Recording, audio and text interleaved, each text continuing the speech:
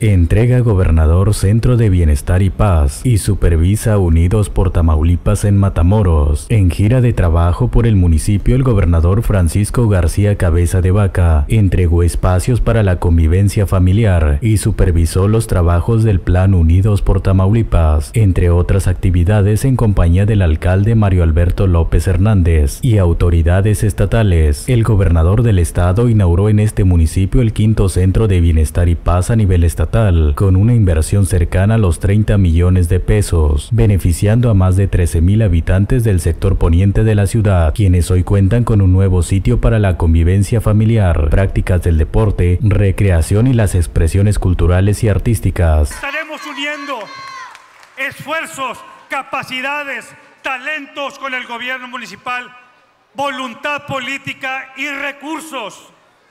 Uniendo esos esfuerzos quiero decirles que vamos a mejorar la calidad de vida de las familias de Matamoros y de toda la región. Mariana Gómez pone primera piedra del Centro de Autismo Tamaulipas. El gobierno del estado que dirige Francisco García Cabeza de Vaca y el sistema DIF Tamaulipas que preside Mariana Gómez de García Cabeza de Vaca dará inicio a la construcción del Centro de Autismo Tamaulipas, que será el primer centro público escolarizado dedicado al autismo en México, donde se impulsa el desarrollo de las niñas, niños y adolescentes con trastorno del espectro autista. Cuando Francisco y yo iniciamos en 2016 el camino hacia nuevo gobierno, fuimos testigos que tamaulipecos con esta condición necesitaban de una atención integral que les permitiera a ellos y a sus familias acceder a una mejor calidad de vida.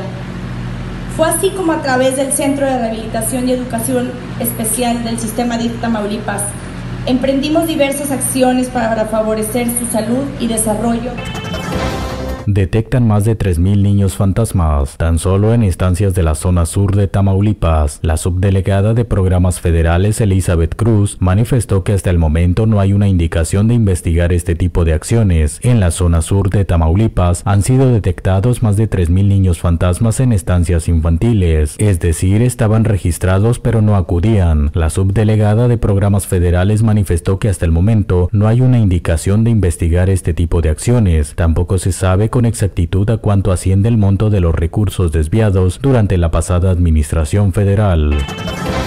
Operativo de Seguridad Semana Santa 2019. Coordinan esfuerzos Protección Civil Municipal y Estatal. La Dirección de Protección Civil realizó una reunión de trabajo con las diferentes corporaciones de auxilio y seguridad que participan en el Operativo de Seguridad Semana Santa 2019, a desarrollarse del 10 al 28 de abril en los principales atractivos turísticos de la ciudad, el cual tiene como objetivo proteger la integridad de los visitantes. En el mencionado dispositivo se coordinan protección Civil Municipal, Protección Civil Estatal, Secretaría de Marina, Secretaría de la Defensa Nacional, Policía Estatal, Bomberos de Altamira, Tránsito y Vialidad, Cruz Roja, así como personal de seguridad de API Altamira y Capitanía de Puerto, destinando alrededor de 150 elementos, incluyendo 10 guardavidas por parte de la Marina Armada de México.